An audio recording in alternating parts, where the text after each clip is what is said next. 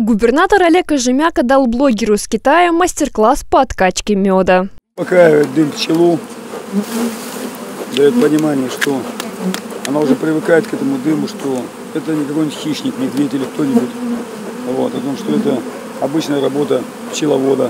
Глава региона побывал на пасеке в селе Кондратеновка. Олег Кожемяка с детства хорошо знаком с процессом медосбора, так как помогал отцу на пасеке. Вместе с губернатором присутствовал китайский блогер Пан Зунь. Олег Николаевич дал мастер-класс по откачке таежного меда, за которым в прямом эфире наблюдали более 20 тысяч подписчиков блогера из КНР. Губернатор достал рамки из улья, срезал верхний слой запечатанных сот, после чего началась медосгонка.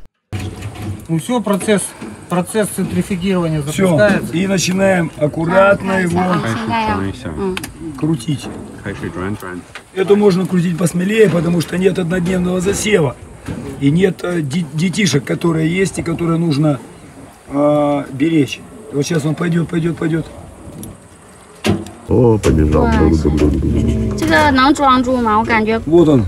Через Золотой. Золотой. Свежий мед гости тут же отведали с блинами и ароматным чаем. Губернатор отметил, что местный липовый мед отличается целебными вкусовыми качествами, поскольку тайга в Приморье чистая, миллионы гектаров липы ничем не обрабатывают. Урожай пчеловодов каждый год составляет около 6 тысяч тонн меда. Этого достаточно, чтобы реализовать сладкое лакомство на рынках Китая и других стран.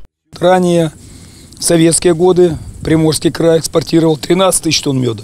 И это было хорошее подспорье для сельского населения, которое своим трудом могли, в общем-то, заработать копейку, дать возможность попробовать мед нашим соседям. Поэтому наша задача сейчас популяризировать именно приморский мед, дать возможность нашим соседям из Китайской Народной Республики попробовать и оценить его качество. Вот, высокие и медицинские, и целебные, вот, то есть и вкусовые тоже в том числе.